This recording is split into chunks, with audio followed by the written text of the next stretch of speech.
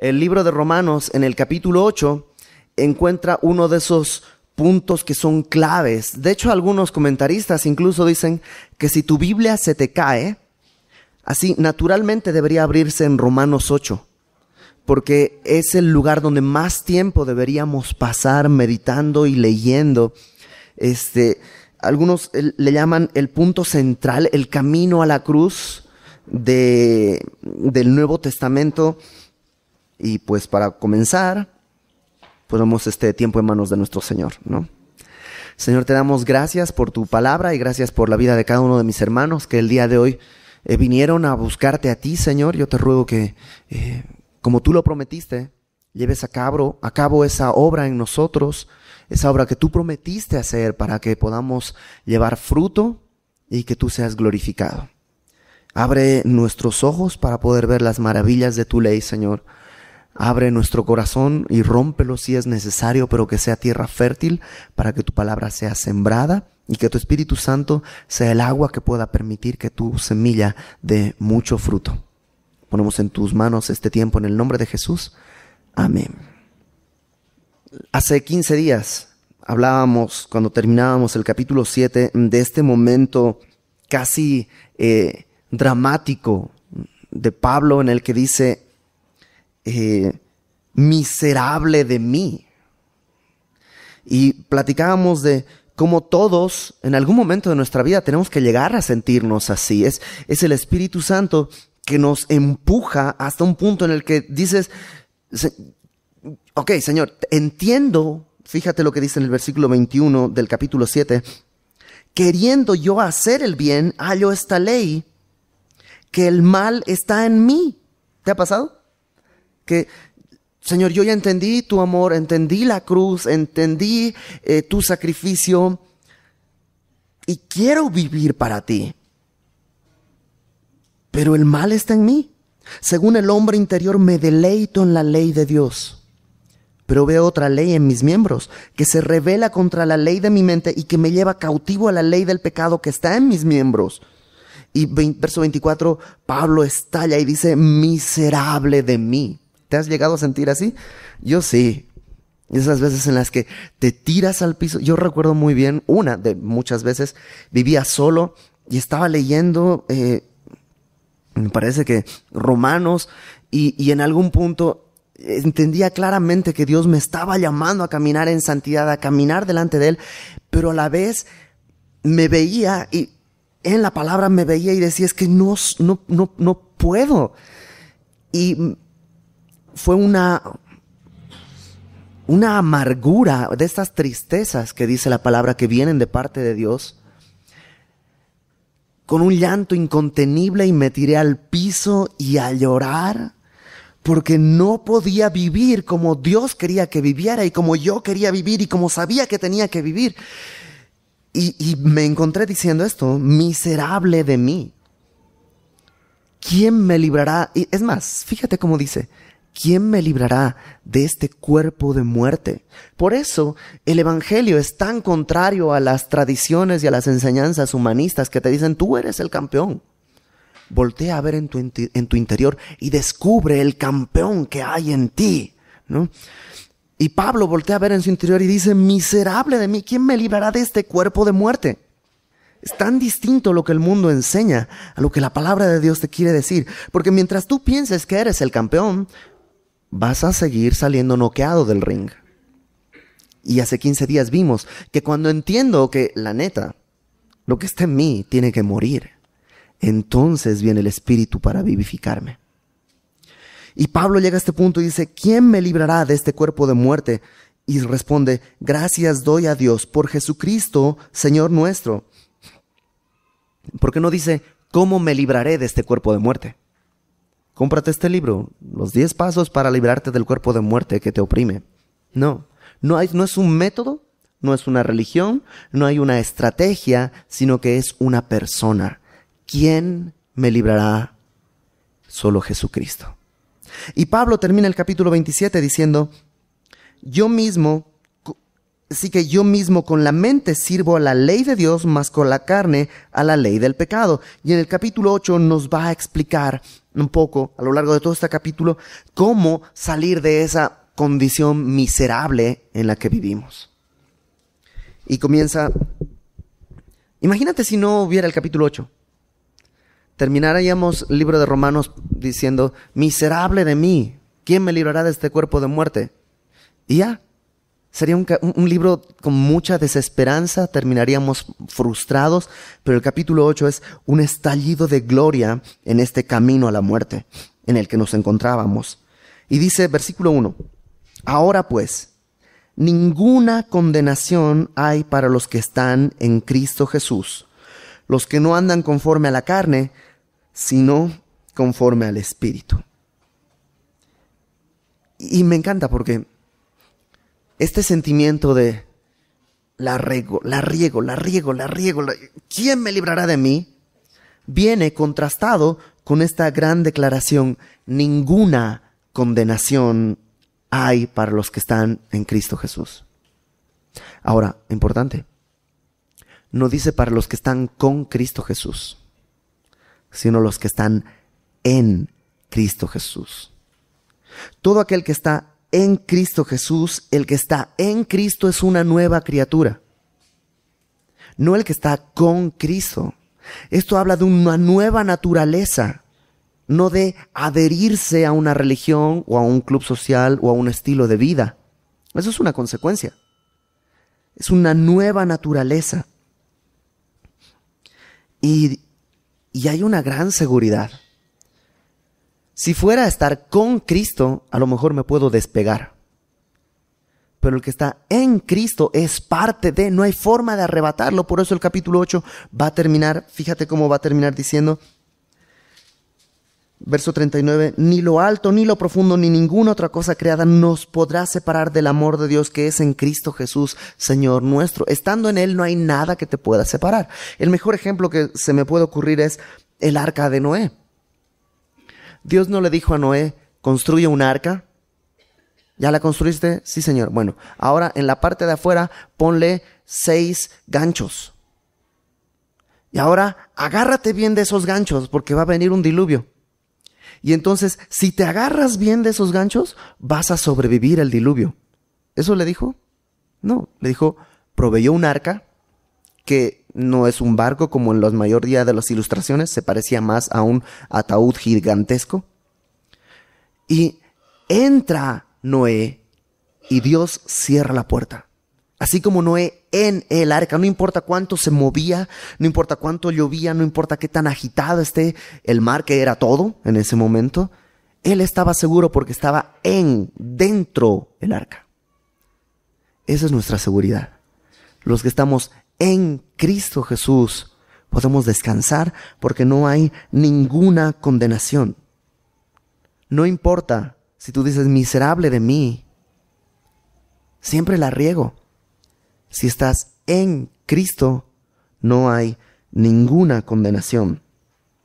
Y Pablo también en este versículo presenta este debate que va a ser entre los que andan conforme a la carne versus los que andan conforme al Espíritu, estas dos naturalezas. Y el día de hoy yo espero que tú decidas, más que decidas, te des cuenta en cuál de las dos posturas estás, si estás andando conforme a la carne o estás andando conforme al Espíritu. Y en segundo lugar, que si estás andando conforme a la carne, pues el día de hoy te cambias de equipo. Y eso es lo que va a desarrollar en el versículo 2. Dice, porque la ley del Espíritu de vida en Cristo Jesús me ha librado de la ley del pecado y de la muerte. Déjame leerlo desde el principio. Ninguna condenación hay para los que están en Cristo Jesús, los que no andan conforme a la carne, sino conforme al Espíritu. ¿Por qué no hay ninguna condenación? Porque la ley del Espíritu de vida en Cristo Jesús me ha librado de la ley del pecado y de la muerte. Hay dos leyes, la ley del Espíritu de vida versus la ley del pecado y de la muerte. Ya habló de estas en el versículo 23 del capítulo anterior, fíjate. En mis miembros hay otra ley que se revela contra la ley de mi mente y que me lleva cautivo a la ley del pecado. Y en el verso 25 Dice, así yo mismo con la mente sirvo a la ley de Dios, mas con la carne a la ley del pecado. Entonces hay este gran problema, la ley del Espíritu versus la ley del pecado y de la muerte. ¿Y a qué se refiere con la ley del pecado y de la muerte? La ley del pecado y de la muerte, lo leímos en el capítulo 27, es esta que está en mis miembros y que me lleva cautivo, la que me tiene como esclavo sirviéndole. Pero dice, ah, perdón, una cosa más. Esta ley se hace operativa, digámoslo así, con tres cosas en mi vida. Hay tres cosas que hacen que esta ley sea operativa. Número uno, el mundo. El mundo y sus deseos, el mundo y sus ofertas, el mundo y sus descuentos, el mundo y todo eso es en el gancho con el cual la ley me lleva cautivo, esta ley del pecado y de la muerte.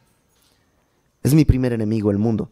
El segundo gran enemigo, ahora sí que duerme conmigo, es mi carne.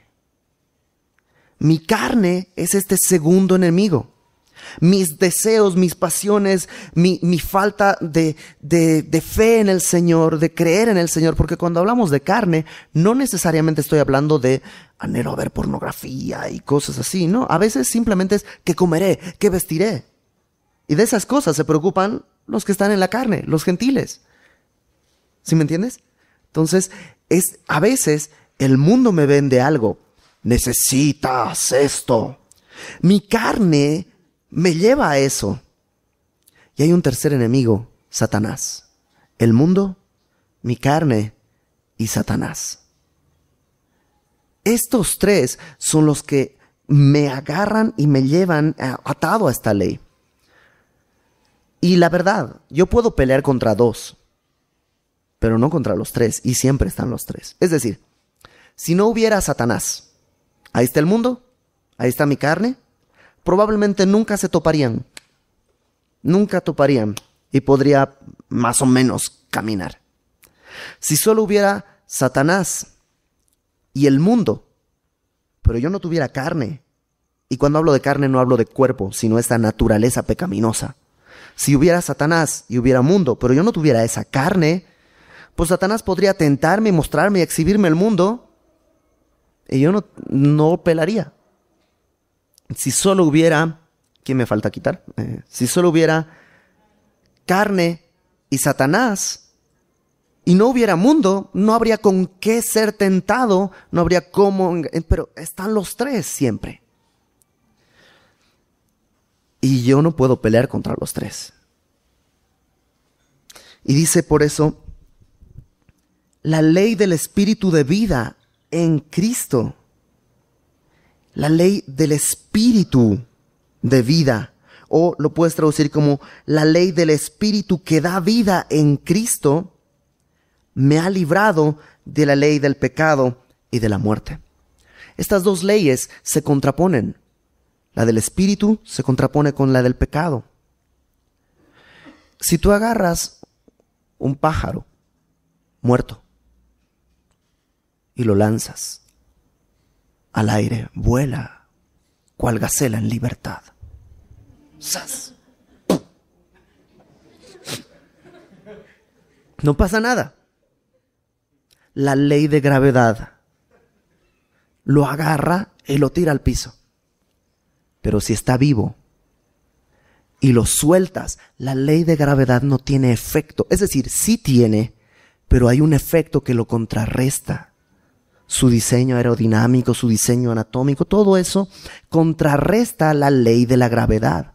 ¿Sí estamos? ¿Cuál es la diferencia entre uno y el otro? ¿La fuerza de gravedad? No, es la misma. ¿Cuál es la diferencia? Uno está vivo y el otro está muerto. Es lo mismo que sucede con nosotros. ¿Por qué? Y déjame ponértelo un ejemplo muy banal, muy banal. No quiere decir absolutamente nada, no es para que te sientas culpable ni nada, es un ejemplo. Ojo, ¿estamos? Los infomerciales que salen en la noche.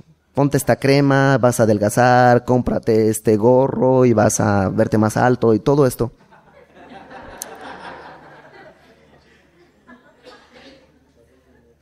salen en la noche, ¿por qué crees? Porque ya llevas todo el día de trabajar y de estudiar y no llegas a tu casa, pones la tele y estás ahí cansado, medio muerto. Y entonces muerdes el anzuelo. Y ahí tienes en tu closet dos jarabes, una pomada, tres imanes, este, y todo, y, y no funciona. Pero en la mañana, cuando despiertas, te darías cuenta del engaño así de rápido. Bueno, a lo mejor no, no justo cuando despiertas, porque estás igual medio muerto, pero después de un café. ¿Cuál es la diferencia? La tentación es la misma, pero hay uno que estás muerto en vida, digamos, y en el otro estás vivo. Lo mismo sucede. La gente que está en el mundo la gente que está guiada según su carne muerde todos estos anzuelos. Necesitas muchas mujeres para ser feliz. Necesitas mucho dinero. Necesitas el coche del año. Necesitas el celular del mes. Necesitas, necesitas, necesitas. Y vas siendo cautivo. Mientras que en Cristo tú dices, la neta, solo necesito a Jesucristo. Él y yo somos mayoría. Y con eso es suficiente. La diferencia está en ser vivo o un ser muerto. Entonces, Pablo aquí dice, eh, la ley del espíritu de vida en Cristo Jesús me ha librado de la ley del pecado y de la muerte. ¿Por qué? Porque lo que era imposible para la ley, por cuanto era débil por la carne, ojo, lo que era imposible para la ley, la ley me dice qué hacer, pero no me dice cómo. La ley me pone las reglas, me pone las, es como, me traza una línea por donde tengo que caminar, pero no me da la fuerza para caminar. Y no me da la orientación, y yo camino todo a tumbos. sí, la ley, es, la ley es buena. Y de hecho, fíjate lo que dice.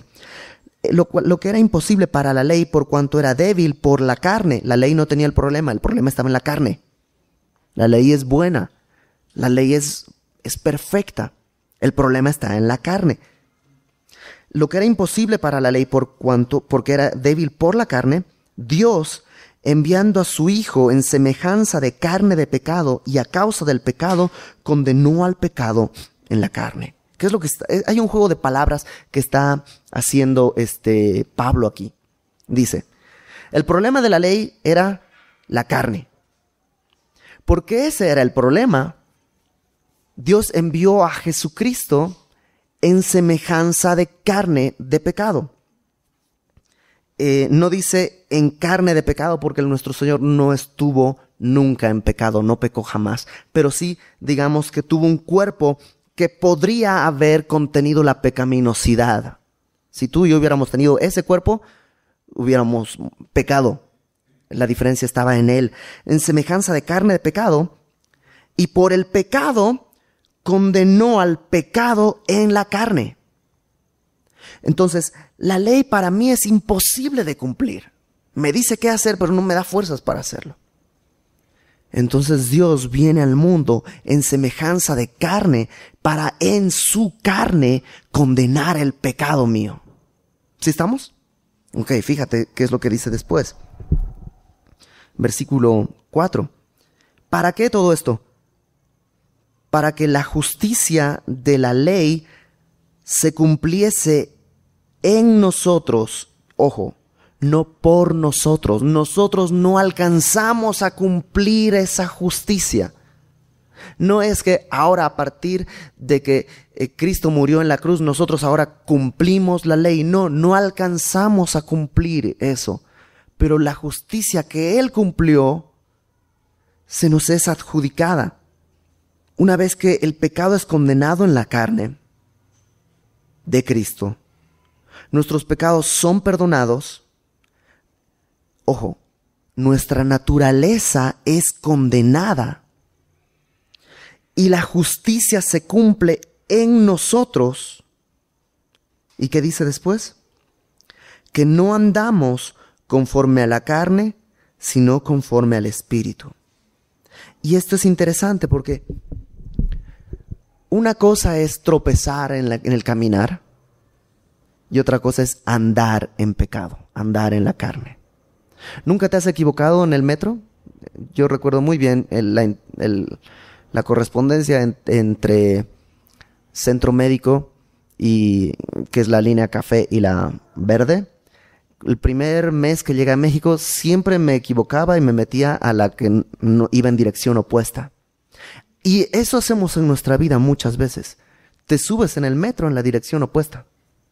Pero una cosa es eso, y la siguiente estación, híjole, estoy yendo al revés, y te bajas, o yo espero que te bajes, Y otra cosa es decidir tomar el metro en la dirección opuesta y caminar incluso por el vagón hacia la dirección opuesta. Y eso es lo que está diciendo Pablo. No, es que dejamos de pecar, pero ya no andamos en la carne. ¿Sí cachas la diferencia? Ok, sigamos leyendo porque se pone más increíble. Verso 5. Y aquí te va a explicar esto de la carne. Los que son de la carne piensan en las cosas de la carne, pero los que son del Espíritu en las cosas del Espíritu. Y esto no es una cuestión de entrenamiento, es una cuestión de naturaleza. No dice los que son de la carne tienen que pensar en la carne. Los que son del espíritu tienen que pensar en el espíritu. No, no, es algo que tienes que hacer. Es algo que se da. Es algo que, que, es más. ¿Ustedes son mexicanos? Entonces, cuando ustedes piensan en pepinos, ustedes piensan en limón y chilito. ¿sí? Porque es su naturaleza. Yo pienso en pepinos y pienso en una ensalada y jamás me la comería en la calle. Porque eh, no es mi naturaleza. En Bolivia las ensaladas no se comen en la calle. Se comen en el plato, en la casa. Pero no es una cuestión que yo tengo que. Es una reacción natural por, por lo que soy. ¿Sí cachas esto?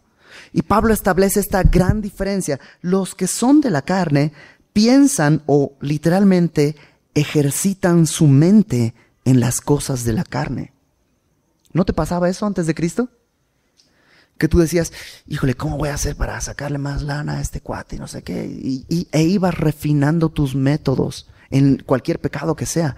En tu carne ibas refinando eso y ejercitabas tu mente en eso.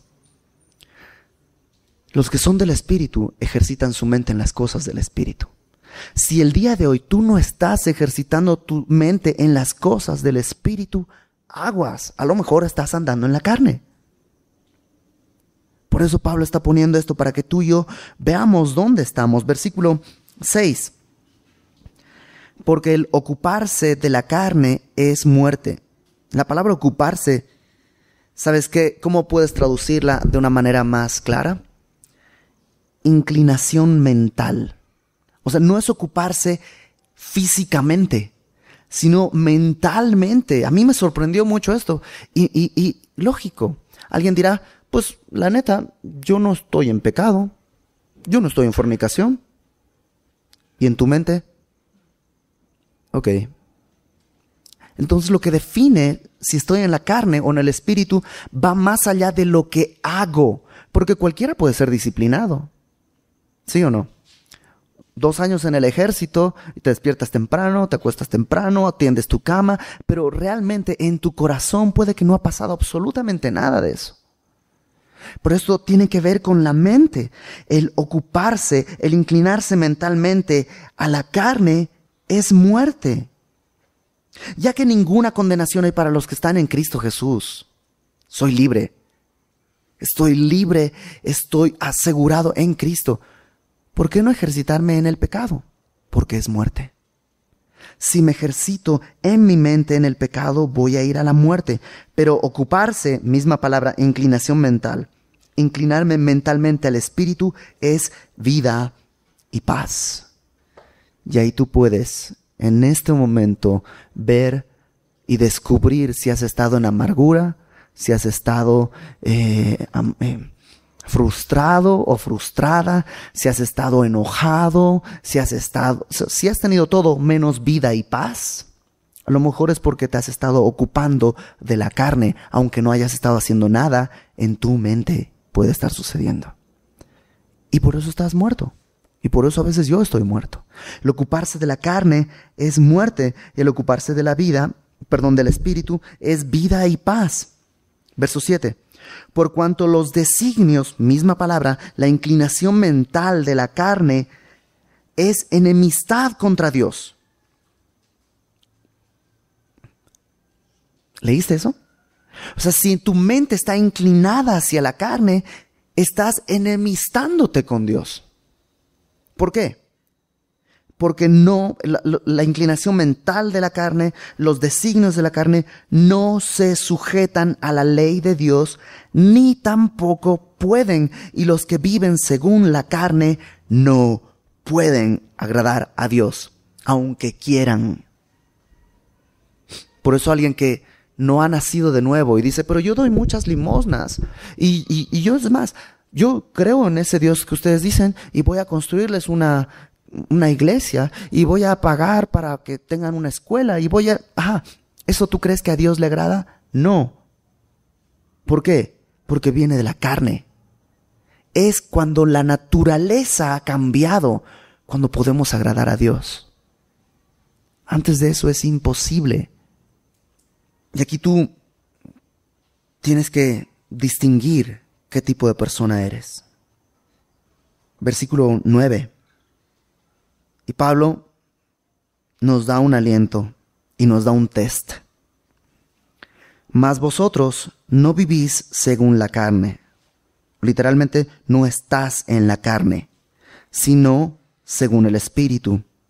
Si es que el Espíritu de Dios mora en vosotros. Y la palabra mora ahí es la palabra oikos en griego, que de donde viene nuestra palabra economía.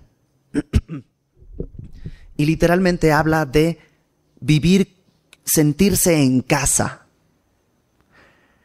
Cuando dice, tú no estás según la carne, sino según el Espíritu, si el Espíritu de Dios se siente en casa en ti. Déjame preguntarte esto. En tu vida diaria, en las cosas que haces diariamente y cotidianamente, en las conversaciones en las que estás envuelto, en las cosas que dices, en las cosas que oyes, en las cosas que ves, ¿el Espíritu de Dios está cómodo en tu vida? No estoy hablando que a veces tropiezas, estoy hablando de en tu vida cotidiana estás andando según la carne, el Espíritu Santo sientes que estás así como... ¿Alguna vez has estado en un lugar incómodo? ¿Así se siente el Espíritu Santo en tu vida o se siente en casa, bien recibido, que está cómodo, que pueda como eh, en tu casa, si me invitas algún día, yo no voy a llegar a acomodar. Ah, mira, pues vamos a poner este florero acá, y vamos a, que pintemos la pared. No, en mi casa, sí. El Espíritu Santo tiene la comodidad de acomodar tu vida como si fuera su casa. Es decir, este cuadro ya no me late a la basura. Y este, vamos a cambiar de vajilla, vamos a cambiar de alfombra, vamos a tirar la alfombra, vamos a abrir una ventana, vamos a cerrar una puerta. ¿Puede hacer eso el Espíritu Santo en tu casa, en tu cuerpo, en tu vida? Ahí está la diferencia. Ustedes son del Espíritu si el Espíritu se sienta en casa. Ahora, también puede darse el caso de que el espíritu está, pero no se siente muy cómodo. Es decir, eres salvo, pero cada palabra que dices sientes como que te, te está jalando, te está tocando, te está empujando, te está picando, te está diciendo, sabes que no, no, me gusta, no me molesta, no, no, eh, no me agrada. Eh, y ¿has vivido eso también? Cuando tengo, tengo una amiga que está en una disyuntiva en mentir para obedecer a un familiar o no mentir y pelearse con este familiar. Y dice, pero es que no me quiero pelear con mi amigo, con mi familiar. Pero, no más de pensar en mentir, y me, me da cosa. Ese es el Espíritu Santo, que dice, ay, no me siento cómodo acá. Y hay una tercera posibilidad. Dice ahí en el versículo 9. Entonces, número uno, que se siente incómodo. siente el espíritu cómodo en casa, la otra que se siente incómodo. Pero dice ahí, y si alguno no tiene el espíritu de Cristo, no es de él. O sea, si en tu vida no dices, el Espíritu Santo está bien cómodo. Tampoco dices, pues la verdad me está redarguyendo, me está empujando. Sino dices, pues yo como que no, no siento ni que está incómodo ni que no está aguas. Porque el que no tiene al Espíritu no es de Él. Y el día de hoy es el día que tú tienes que examinarte y ver. Y si estás andando en la carne, caminar hacia el Espíritu. Y si no tienes al Espíritu en ti, rogarle a Dios que te perdone los pecados, que deposite su Espíritu Santo en ti, que te haga salvo, que revele su nombre a tu vida. Versículo 10. Eh, Pero si Cristo está en vosotros, me encanta, porque Pablo es optimista. Si Cristo está en vosotros, el cuerpo en verdad está muerto. Sí, ya lo aclaramos, ya lo vimos, el cuerpo está muerto a causa del pecado, o lo puedes traducir como a través del pecado. El pecado mató mi cuerpo, mas el espíritu vive a causa de la justicia. Y la palabra espíritu ahí ha generado un debate a lo largo de 500 años en todo tipo de comentaristas, porque en tu Biblia aparece muchas veces espíritu con E mayúscula, ¿no es verdad? Y se entiende que es el Espíritu Santo. Pero en el texto original nunca hay mayúsculas. Entonces son los traductores los que tienen que interpretar si está hablando del Espíritu Santo y por eso ponen la E mayúscula, o si es el espíritu humano y por eso ponen la E minúscula. Y este espíritu que está ahí en versículo 10 está con minúscula en nuestras versiones. El asunto es que en todo el tiempo que ha estado hablando Pablo siempre habla del Espíritu Santo. Y sería muy raro que en este caso hablara ahora del Espíritu humano. Otra traducción más clara tal vez podría ser, versículo 10, si Cristo está en vosotros, el cuerpo en verdad está muerto a causa del pecado, mas el Espíritu con E mayúscula, el Espíritu eh, Santo, da vida a causa de la justicia. ¿Sí cachas?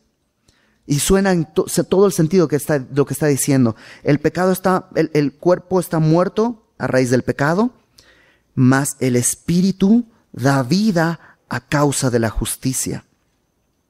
Y si el Espíritu de aquel que levantó de los muertos a Jesús mora otra vez, oico, o sea, habita como en casa en vosotros, el que levantó de los muertos a Cristo Jesús vivificará también vuestros cuerpos mortales por su Espíritu que mora a vosotros. ¿Qué es lo que está diciendo Pablo en una frase muy sencilla? Para dejar de andar en la carne, el Espíritu tiene que morar en ti, porque ese Espíritu es el que dio vida a Jesucristo cuando estaba muerto, que resucitó a Jesucristo de los muertos, y ese Espíritu es el que puede vivificarte para caminar como vivo y no como muerto, y no ser esta ave que es lanzada y se estrella. Y me encanta, porque entonces resume todo en una sola cosa, el poder del Espíritu Santo. No lo puedo hacer yo. ¿Quién me librará de este cuerpo de muerte? Jesucristo a través de su Espíritu habitando en mí, no de visita. Porque a veces somos hotel del Espíritu Santo. Y está un ratito, sí, caminamos cinco días, una semana, y luego corremos al Espíritu Santo porque no paga nuestra tarifa. Y le decimos, lo siento, cuando pagues esta tarifa eres bienvenido. Y ¡pum! Cerramos la puerta. Si no tiene que habitar en nosotros. ¿Tú sabías que ninguno de los personajes del Antiguo Testamento, piensa en los más, eh, los más bonitos que hay? Daniel. Daniel es increíble. José. Ninguno de ellos. Jeremías. Isaías. Ninguno de ellos tuvo el Espíritu Santo como tú y yo lo podemos tener. Es un privilegio que Dios nos ha otorgado a nosotros. Y sabes, se pide. ¿Cómo se recibe el Espíritu Santo? pidiéndolo y por fe. Nada más.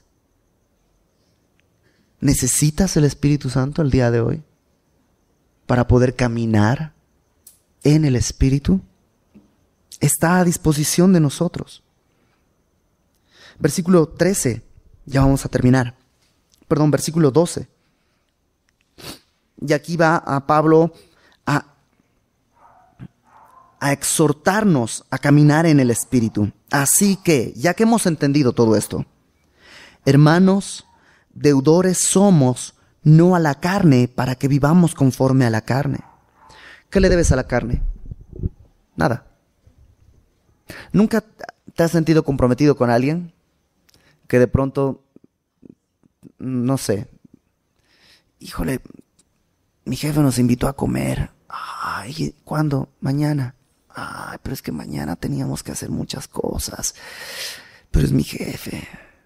Bueno, pues vamos, ya ni modo. ¿Nunca te ha pasado una situación de esas en la que estás amarrado? Porque es tu jefe o porque es alguien a que le debes dinero o le, le debes. La carne opera así con nosotros. Y Pablo dice, no le debes nada. Le puedes cerrar la puerta. Y si se ofende, no importa, no le debes nada a tu carne. ¿Por qué entonces tantas veces nosotros estamos correteando? Mi carne quiere algo, ahí salgo buscando, ah, ¿qué quieres carne? Ah, y, y desesperados por complacer a mi carne que lo único que hace es matarme. Y Pablo dice, eres libre. No te puede chantajear, no te puede manipular, no le debes nada. Ciérrale la puerta en las narices a tu carne. Y que no te preocupe lo que diga, no le debes nada. ¿Por qué? Porque si vivís conforme a la carne, moriréis. Mas si por el Espíritu hacéis morir las obras de la carne, viviréis. Dos cosas. Número uno, hay una advertencia. Yo creo que la salvación no se pierde. Yo creo que cuando Jesucristo nos otorga la salvación, como yo no me la gané, no la puedo perder. O sea, nunca tuve el presupuesto para ganarla. Entonces, Él me la dio. No voy a perder mi salvación. Pero constantemente en la palabra habla una y otra vez que vigiles tus pasos. Juan dice, salieron de entre nosotros porque no eran de nosotros, porque si hubieran sido de nosotros, hubieran permanecido con nosotros. Pareciera que perdieron la salvación. Y Juan dice, no, no perdieron, nunca fueron salvos. Pero entonces, ¿cómo saber si sí soy o no soy? Permanece. Cuando alguien me dice, Iber, tú vas a perder, la salvación se pierde, yo puedo contestar, la mía no. Y no porque, y no porque soy bueno, sino porque anhelo su gracia, porque Él lo ha puesto en mí. Y hay este gran debate entre la salvación se pierde o no se pierde. Y creo que el enfoque está en la gracia. ¿Somos salvos por gracia? Sí. Pero citando a todo lo que eh, Dietrich von Heufer, que es un teólogo alemán de la época de la Segunda Guerra Mundial, habla, dice, cuando la gracia no puede ser tu presupuesto. Cuando la gracia la tomas como presupuesto, no has conocido la gracia. ¿Sí me entiendes? ¿Sí te cae eso? Es decir, cuando, ¿qué es el presupuesto? Lo que yo tengo para gastar. Entonces voy al súper, ¿cuánto tengo? 500 pesos, pues voy a comprar esto, esto, esto, esto, esto, hasta que se me acabe. Si tuviera 100 mil pesos, pues compro más. ¿Sí o no? Si, tu, si fuera slim, pues compro todo. ¿Por qué? Porque estoy viendo mi presupuesto. ¿Sí o no? Cuando yo veo la gracia como mi presupuesto para gastar, pues peco, tengo gracia suficiente. ¿Cuánto puedo pecar? 500. Ok, puedo gastar y puedo gastar. Cuando estoy tomando la gracia como ese presupuesto para pagar mis pecados, no he entendido la gracia. Pero si no es mi presupuesto, si no mi anhelo, no importa cuánto peque, siempre voy a tener gracia suficiente para lavar mi pecado. ¿Si entiendes ese dilema? No hay forma de explicarlo, pero lo tienes que vivir. ¿La gracia es tu presupuesto para pecar? ¿O la gracia es el alivio cuando has pecado? Y eso es lo que está diciendo Pablo. Si vivís conforme a la carne, moriréis. ¿Perderé mi salvación? No lo sé. Pero la Biblia, palabra dice que si tú andas conforme a la carne, vas a morir. Mas si por el Espíritu haces morir a las cosas, a las obras de la carne, viviréis. Y esto me encanta también porque habla de, no tengo que yo matar mi carne. La carne no puede matar carne. Mi carne no puede matar mi carne porque no se va a matar. Se va a hacer la muerta en el mejor de los casos y vas a despertar cuando yo menos lo espere. Es el Espíritu el que tiene que llevar a morir mi carne. Chuck Smith, este pastor en Estados Unidos, dice, cuando entras a una habitación oscura, no te peleas con la oscuridad. ¿Qué es lo que haces? Prendes la luz. No reprendes, no regañas, no, no, no abres los ojos. Enciendes la luz y con eso es suficiente. Lo mismo ocurre en mi vida. No se trata de que, ok, voy a eh, orar seis horas cada mañana. Voy a hacer, voy a, voy a, todo eso es la carne y eso no va a matar mi carne. Es el Espíritu el que tiene que hacerlo.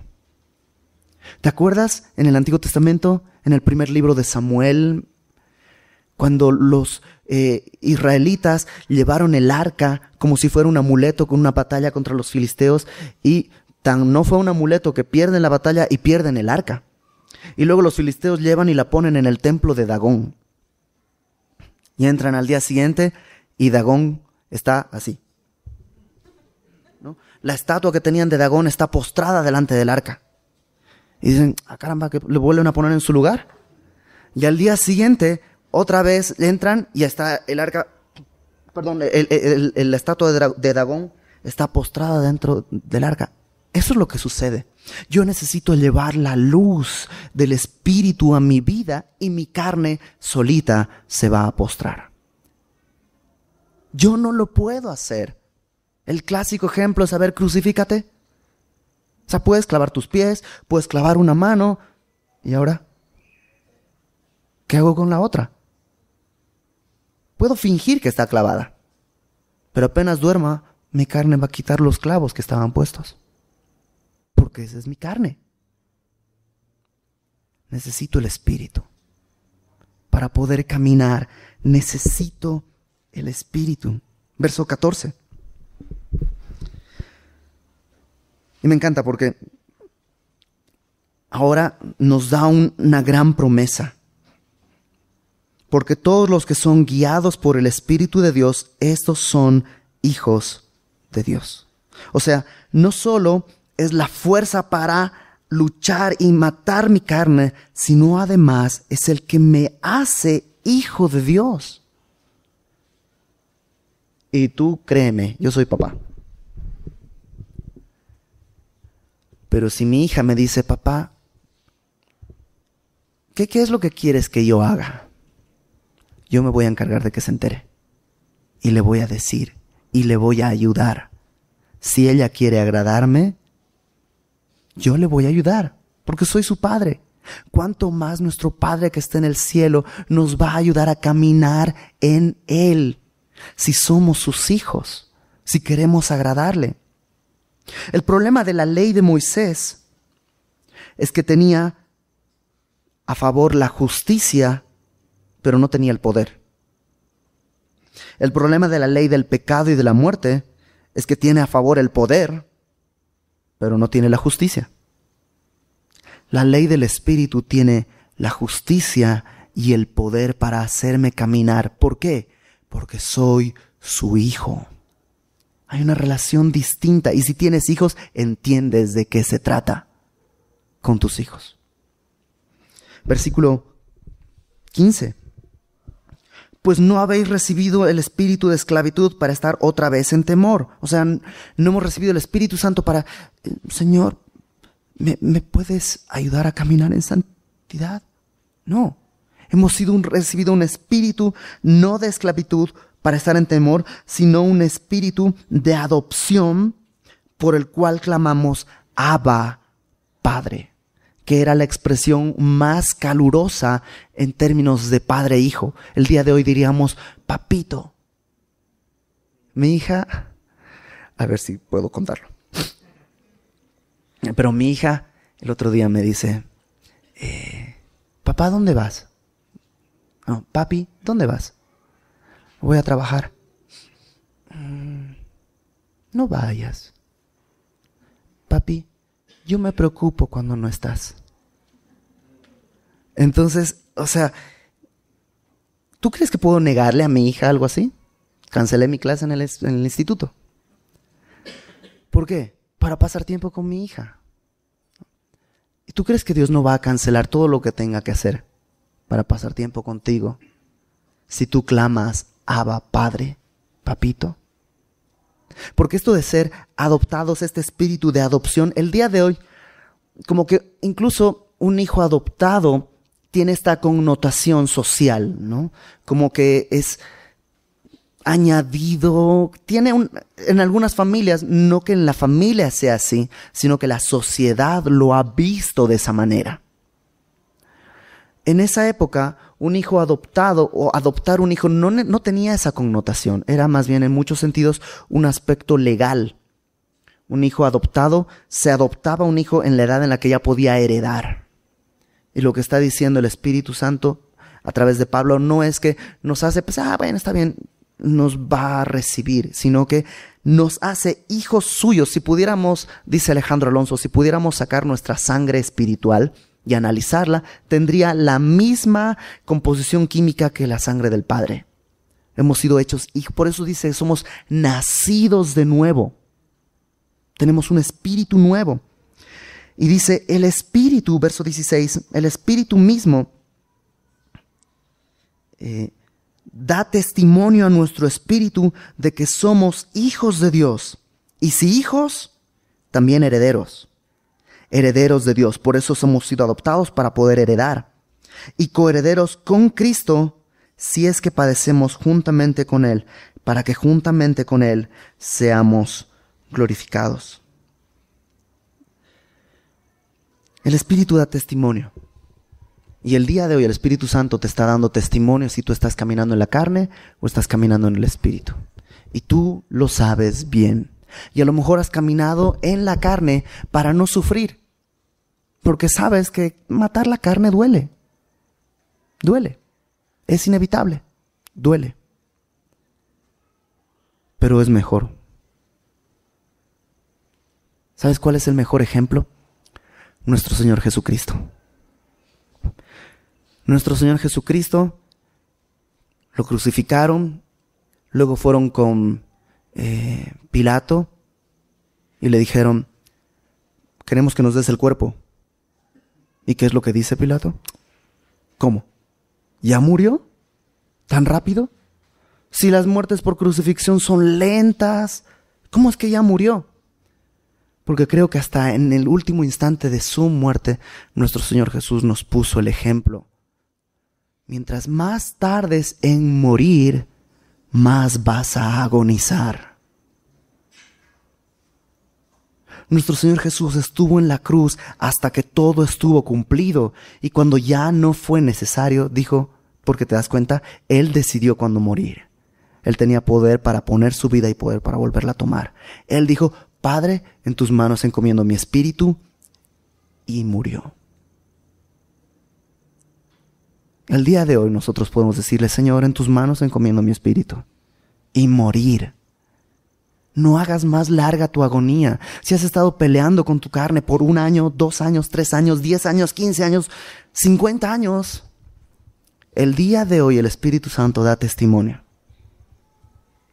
Y no por la ley, sino por amor. Una de las cosas que recuerdo me impactaron cuando tendría, no sé, 10 años, 11 años tal vez. Mi mamá me regaló un libro, a mi hermana le regaló Mujercitas y a mí me regaló Hombrecitos de Louis M. Alcott. Y es la historia de eh, Nat, es un chiquito que toca el violín y es recibido en un orfanatorio. donde está eh, eh, el señor Baer y su familia. Y el problema de este muchachito Nat es que es muy mentiroso. Y miente, miente muy seguido. Y lo corrigen y lo corrigen y, y no, nunca, este, nunca deja de mentir. Hasta que un día el señor Baer le dice, mira Nat, la próxima vez que mientas, tú me vas a dar a mí cinco reglazos en la mano. Entonces pasan unos días y Nat miente. El señor Baer lo toma de la mano, lo lleva a un salón, le da la regla y la escena como está descrita. El niñito recibiendo la regla, sabiendo lo que va a suceder, que él no va a recibir el castigo, que lo va a recibir el que lo adoptó, el que le ha dado cobijo, el que le ha dado una familia. Empieza a llorar y le dice, no, por favor, no, no, no, no, no, no, ya no lo vuelvo a hacer, no. Y el Señor le dice, tuvimos un acuerdo y extiende su mano y le dice, golpea con todas tus fuerzas. Y se escucha el primer golpe y el segundo golpe y así hasta que de pronto Nat está envuelto en lágrimas, da el último golpe y se abraza a esa mano y evidentemente no miente más. Y eso es lo que Dios quiere que entendamos.